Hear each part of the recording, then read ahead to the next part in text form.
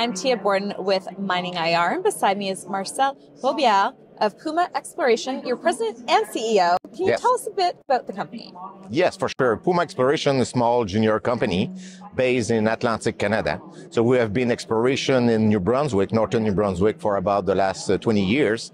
And since 2019, now we're focused on gold. So very nice gold discovery made in 2021. And now we just keep growing the gold resources at the site.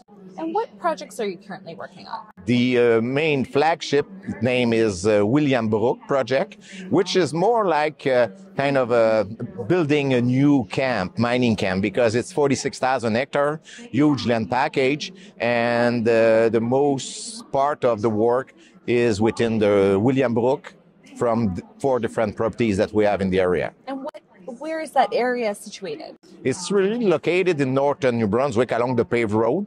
That's uh, the road make the link between Bathurst, which is the major city in northern New Brunswick, and St. Quentin. So along the paved road, uh, really close to the Quebec borders, and is in Appalachian rocks of you know the uh, Appalachian rocks.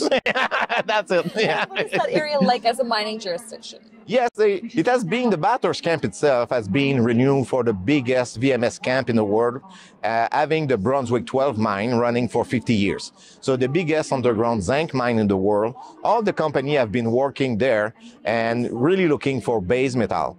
But uh, us also the first 15 years we were looking for base metal.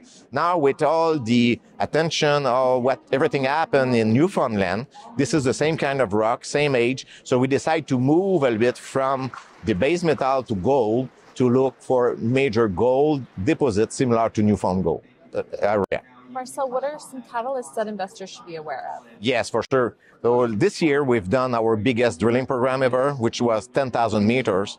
We have been really successful. That was followed uh, by the discovery hole number two, which gave a grade of five grams over 50 meters, really high grade gold at surface.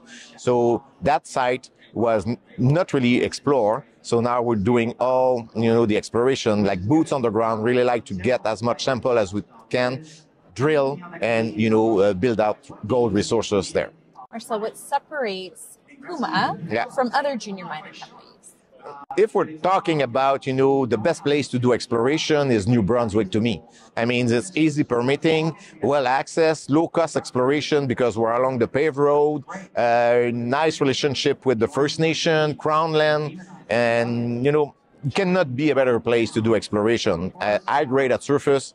We could have the uh, bulk sample uh, 4,000 ton bulk sample in a month, permitting. So I don't think there's any other places in the world that in a month you can get a permit to proceed the bulk sample. So easy permitting, really nice people, and you probably have noticed I'm French, so there's a French community up there. So it's, um, it's good when you talk to people around and the stakeholder of the area. Which is all amazing. What are you looking forward to most for the coming year 2023?